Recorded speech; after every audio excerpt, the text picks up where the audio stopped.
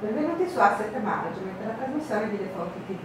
Oggi parliamo di fondi pensioni istituzionali, strategie di investimento e sostegno all'economia reale e ne parliamo con Luca De Biasi, Wealth Business Leader di Mercer Italia e con Fabrizio Salvi, responsabile dell'area sviluppo e relazione clienti istituzionali di Gruppama SGR. Benvenuti. Grazie.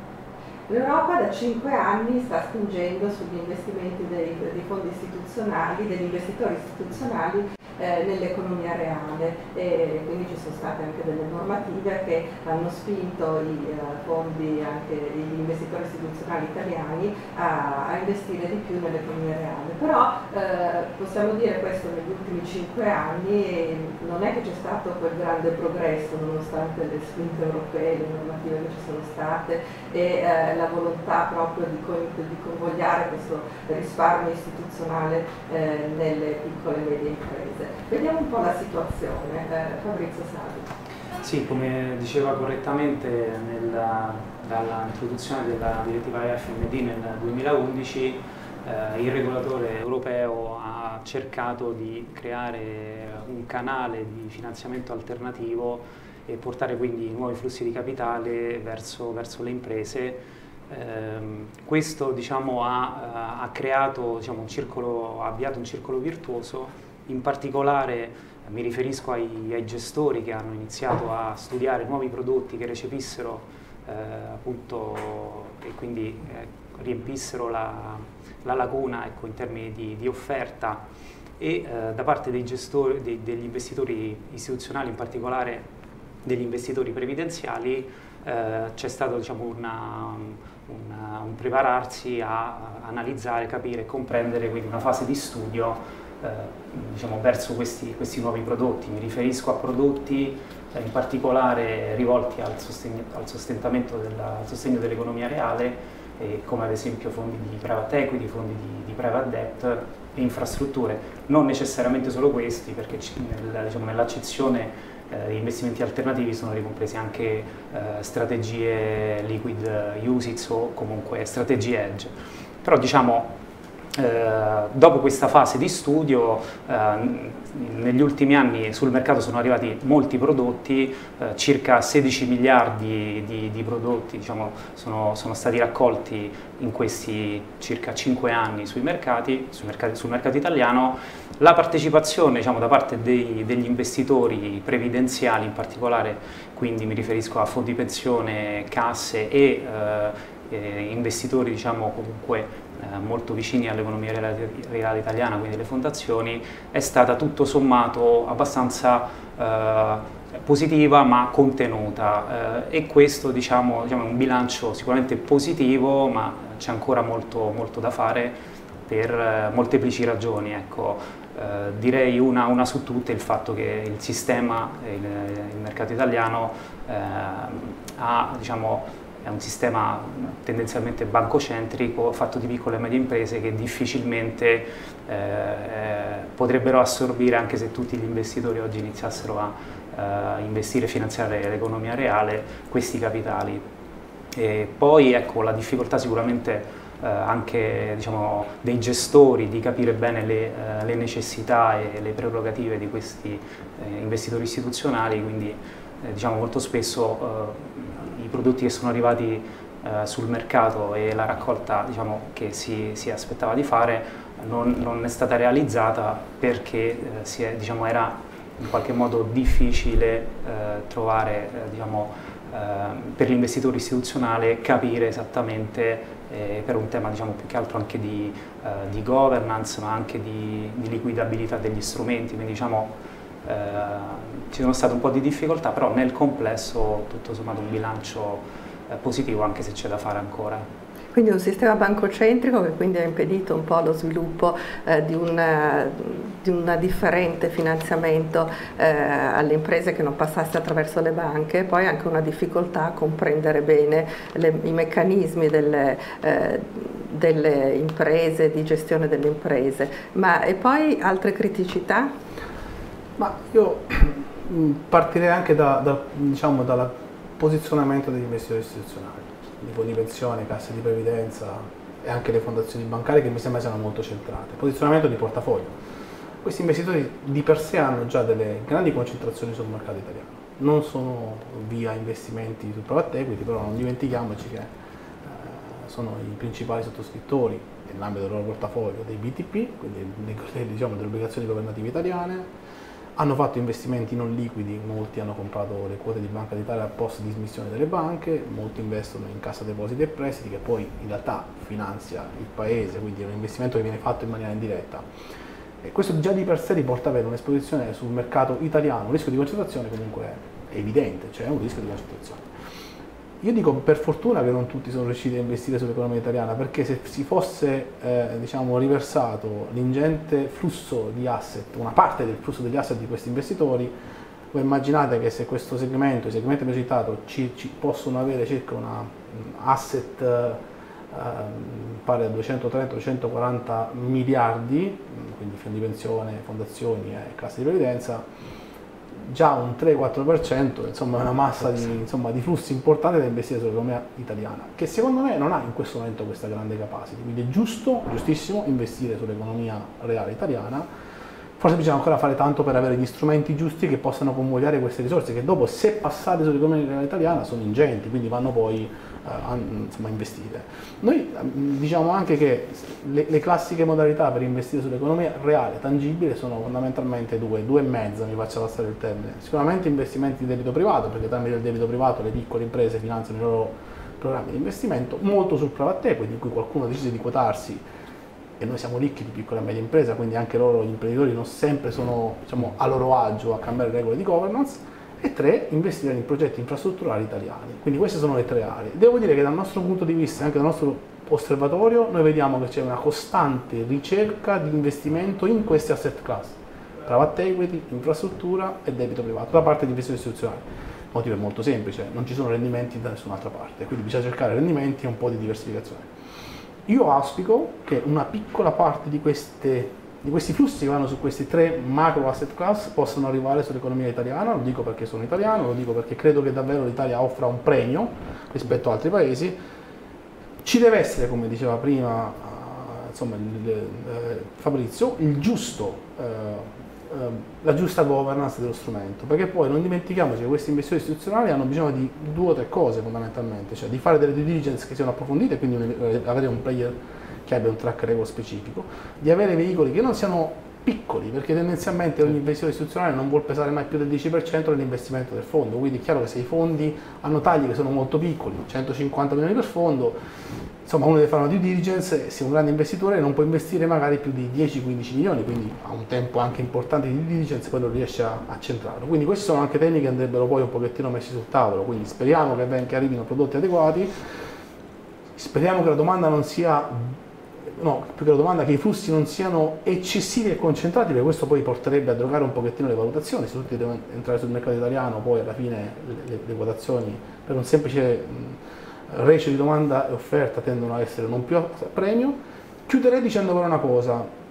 il tema di investire nell'economia reale è sui tavoli di tutti quanti i presidenti di fondazioni, casse di previdenza, fondi di pensione. C'è stata una grande moral suasion e la missione la sentono benissimo loro perché sono italiani o operano in un contesto italiano e perché gli investimenti che vanno in Italia molto spesso sono poi a beneficio degli stessi iscritti. Pensate a una cassa professionale che fa degli investimenti infrastrutturali che sono magari vicini al, alle logiche degli iscritti della cassa, chiaramente ne beneficiano anche gli iscritti, so, i geometri, eh, i periti, gli ingegneri e così. Quindi il tema c'è, la sensibilità c'è, c'è stata anche più di qualche chiamata politica, se vogliamo metterla così, insomma, molta moral suasion, investire nell'economia eh, reale italiana, speriamo che si riescano a combinare le governance e i prodotti, non dimentichiamoci però che gli investitori istituzionali italiani già investono tanto a supporto dell'Italia, non dimentichiamolo, questo è un tema che non va mai dimenticato perché come dicevo prima investire nel debito governativo italiano,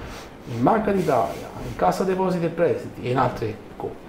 altri fondi infrastrutturali che sono molto vicini comunque a logiche di questo tipo è già un investimento. Quindi a supporto nel senso che però investono su infrastrutture praticamente, non su piccole e medie imprese, cioè l'ultimo, il, diciamo la, lo stadio finale che potrebbe essere quello della piccola e media impresa non è ancora affrontato. Non, non è ancora affrontato, secondo me come si diceva prima manca ancora proprio anche la voglia di quotarsi, parliamoci chiaramente, quindi non sono tantissime le imprese che sentono l'esigenza di andare sul mercato, no scusi, quotarsi, di andare sul mercato in liquido a cercare degli investitori, perché parliamo di private equity, e anche la voglia di mettere in piedi progetti infrastrutturali credibili che possano attirare poi capitali italiani e non. Perché che l'Italia sia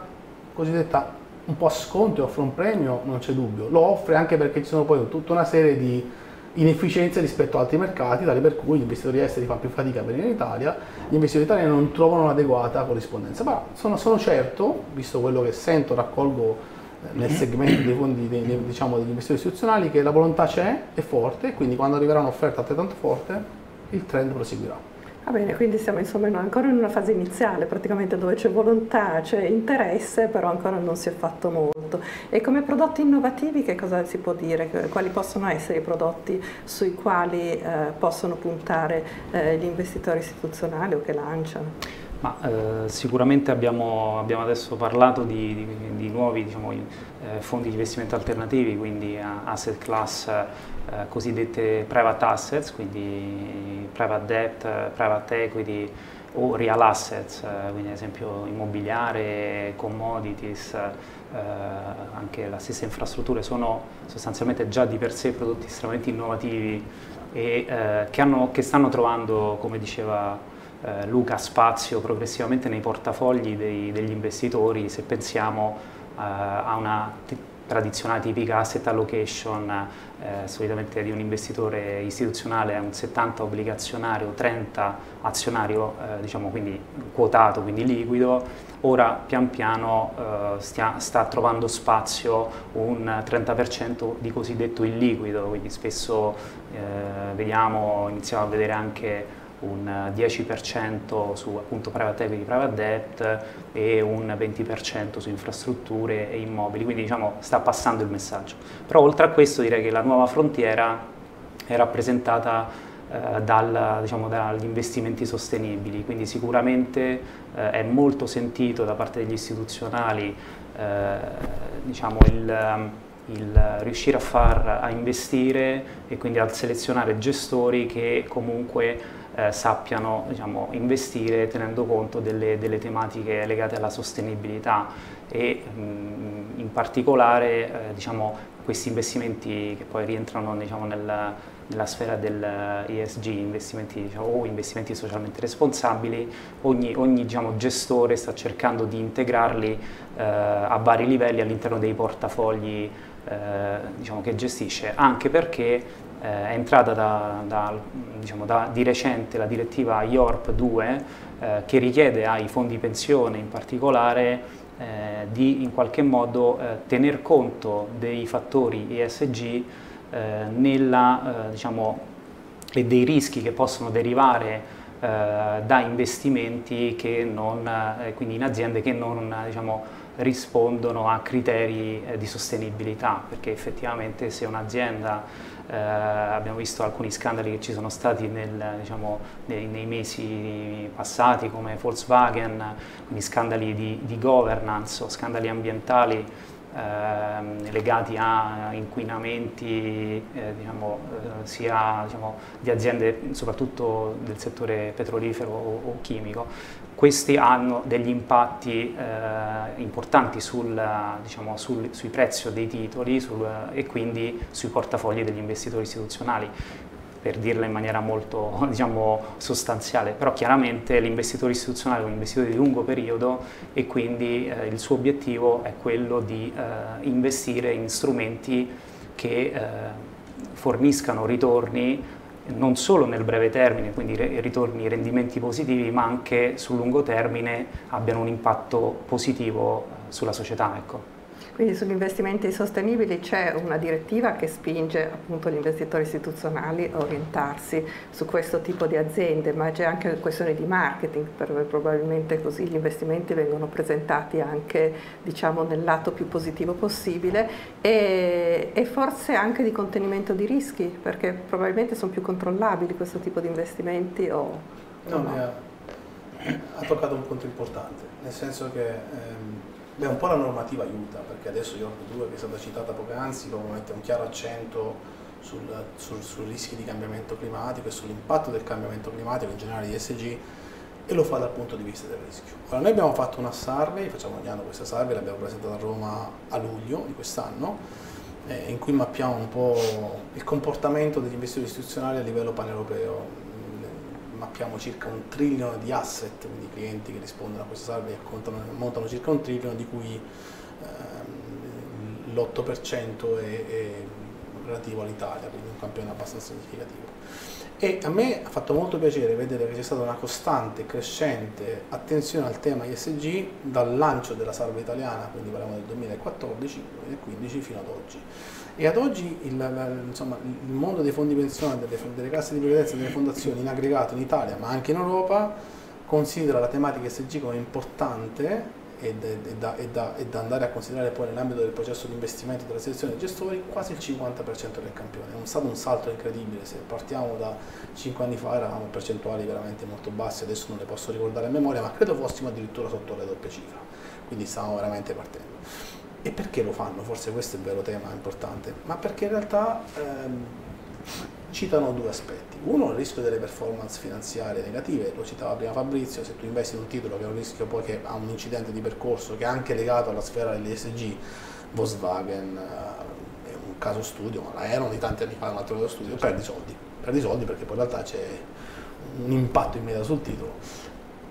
Non dimentichiamoci che questi investitori qua poi sono essi stessi parte del contesto della società, fondazioni operano nel contesto della società, i fondi pensione devono salvaguardare degli asset che sono asset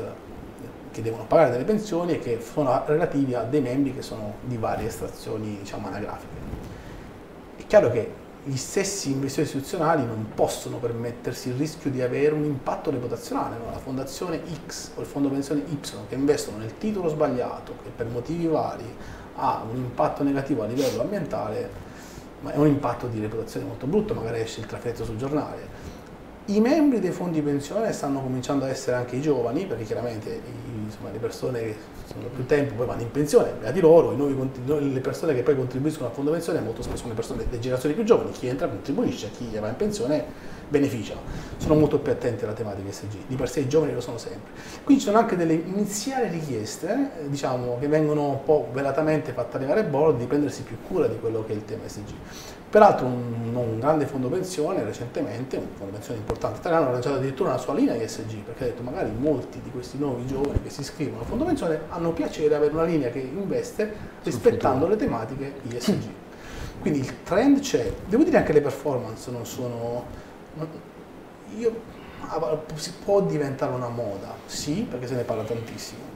Le performance non fanno vedere un chiaro miglioramento rispetto agli indici tradizionali. Poi ho visto si possono creare tante statistiche, io posso dire che secondo me non c'è un chiaro miglioramento, non c'è neanche un peggioramento. Quindi in realtà la performance è simile, non ho rischio reputazionale, ho, contribuisco anche un po' di più e meglio allo sviluppo del clima nel mondo, il clima non politico ma proprio il clima del mondo, cerco di essere un po' più vicino a queste logiche che sono appunto logiche di uguaglianza e di, e di rispetto. Quindi mi sembra che il trend sia ineluttabile. Peraltro, e mi ricollego alla domanda che faceva prima, una buona parte degli investimenti che si potrebbero fare in ottica ESG ricadono, guarda caso, in due asset class molto specifiche che non sono asset class quotate, sono le famose asset class liquide da cui siamo partiti, infrastruttura e private equity, che vanno a finanziare l'infrastruttura, tutto quanto il tema delle energie alternative, ma anche della gestione dei rifiuti, ma anche del migliore efficiente utilizzo dell'energia, quindi tutto questo filone viene spesso seguito da società che sono in fase di start-up non quotate, quelle le troviamo nell'ambito del private equity. E le infrastrutture per definizione migliorano moltissimo i processi energetici, il fotovoltaico, l'eolico e chi più ne ha più ne metta. Quindi in realtà poi torniamo al punto di partenza, a volte investire in questi asset class illiquide che fanno benissimo al portafoglio è anche un buon modo per essere innovativi nell'ambito del processo e del prodotto, perché investi anche in asset class liquide che hanno una, una, targhetta, cioè sono proprio legate e vicine al mondo ESG e quindi alla fine facciamo del bene un po' a tutti, ai portafogli ma anche anche all'ambiente, all'uguaglianza della società. Però quello che viene da pensare è che eh, sono investimenti che comunque si rivolgono a imprese medio-grandi, non a imprese piccole. Mm,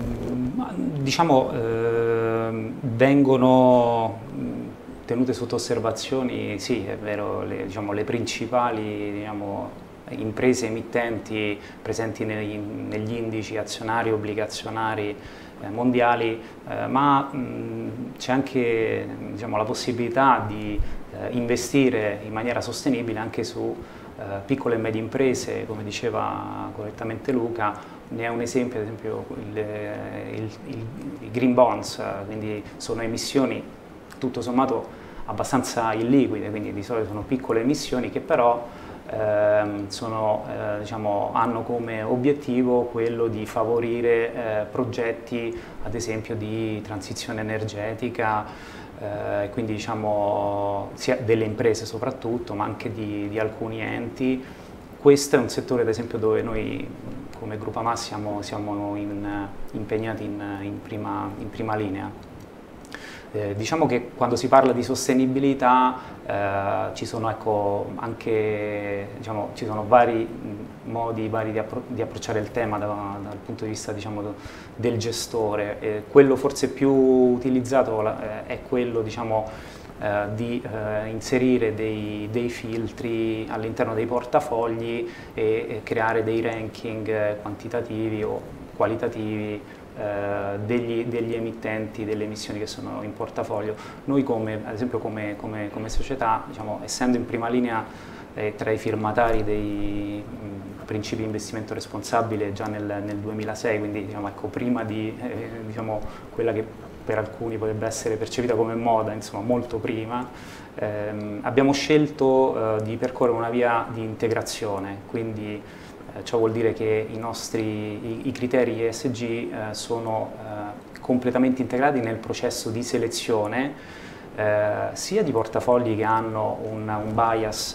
eh, ESG, ma anche e soprattutto nei portafogli dei nostri istituzionali che non necessariamente hanno eh, un bias ESG. E, oltre a questo, tra l'altro, eh, quello noi, su cui noi stiamo spingendo molto, e che è un'altra diciamo, un variante in qualche modo eh, legata all'investimento sostenibile, è il tema eh, dell'engagement, ecco, quindi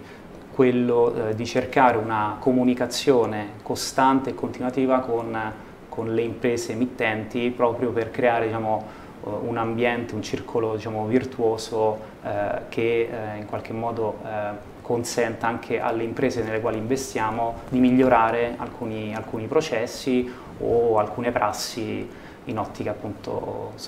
più sostenibile. Beh certo, questo naturalmente crea una maggiore comunicazione, anche un maggiore controllo dell'anticipazione eh, del fatto che magari se ci sono dei rischi si possono contenere, quindi di prevenzione. E, ehm, se dovessimo parlare di prospettive, di prossime sfide, cosa possiamo dire in questo campo? Allora, eh, direi che le sfide che abbiamo davanti a noi sono quelle che, legate al, al, innanzitutto ci aspettano anni più difficili da tutti i punti di vista, quindi anche dei mercati finanziari. Questo vorrà dire che gli investitori istituzionali dovranno prestare molta attenzione al modo in cui fanno gli investimenti. I tassi sono dove sono, sappiamo, sono sotto zero, i mercati azionari sono non possiamo definirli a buon mercato in questo momento storico, quindi costruire portafogli per il futuro sicuramente sarà molto più complesso. Costruire portafogli ben diversificati che abbiano anche l'obiettivo di generare qualche punto percentuale di rendimento diventa, comincia a diventare una missione impossibile, bisogna essere realisti. Perché veniamo da anni particolari, perché oggi come oggi se io come advisor globale mi siedo al tavolo con il mio cliente e devo costruire un portafoglio che deve avere un rendimento di qualche punto percentuale, devo dire che faccio una grande fatica, credo che la facciano anche i gestori a generare questi qualche punto percentuale. Tornano a essere particolarmente interessanti le asset class illiquide, quindi sia il private equity che l'infrastruttura, perché ci portano due premi, un premio di complessità e un premio di liquidità sono le uniche cose che possiamo in questo momento prendere dal mercato, quindi hanno dei premi in più e quindi il premio in più vuol dire che hanno un rendimento in più. A questo punto io penso che se riusciamo a investire in Italia su questi asset class possiamo aggiungere un ulteriore premio, quindi il premio di complessità e il premio di liquidità che sono propri dell'asset class, che sono infrastrutture e private equity, aggiungiamo anche il premio del rischio paese, perché l'Italia in questo momento offre votazioni più interessanti proprio perché meno investitori istituzionali, non solo italiani ma anche esteri, o gestori di portafoglio riescono, vengono in Italia per mille motivi, per, mille motivi che potremmo anche approfondire. Quindi se riusciamo ad aggiungere questo premio in più e quindi riusciamo a trovare le giuste opportunità di investimento in Italia, forse riusciamo ad aggiungere un pochettino di diversificazione al portafoglio senza barattare troppo i rendimenti futuri. Quindi questa è una prima sfida e io la metto sul tavolo, cerchiamo il modo per portare a casa questo premio di complessità, di liquidità, ma anche il rischio paese Italia, investendo sul nostro paese. Questo potrebbe essere un bel punto di vista e anche un punto iniziale per il futuro. Ci riusciremo, sicuramente c'è da lavorare ancora tanto, perché i temi che abbiamo toccato fino ad ora sono ancora sul tavolo, non mi sembrano siano stati risolti. Eh, però credo che possa essere appunto un punto forte riuscire a risolvere, riuscire a essere innovatori o innovativi nell'ambito delle prossime sfide. Questa è una delle grandi sfide che vediamo. Quindi la sfida degli illiquidi praticamente. Sì, potremmo definirla la sfida diciamo, del, degli illiquidi, la sfida di riuscire a integrare nei portafogli un, un orizzonte di investimento di lungo termine veramente eh, rivolto e orientato alla alla sostenibilità e non solo a rendimenti positivi magari nel breve, nel breve termine, ecco, non tanto eh, il rendimento ma come lo realizzi e quali benefici porta alla collettività. Bene, siamo arrivati al termine della nostra puntata. Ringrazio molto Luca De Biasi, Wealth Business Leader di Mercer Italia, Fabrizio Salvi, responsabile area sviluppo e relazioni clienti istituzionali di Gruppama SGR e arrivederci a tutti alla prossima puntata di Asset Management qui sulle Fonti TV. Grazie.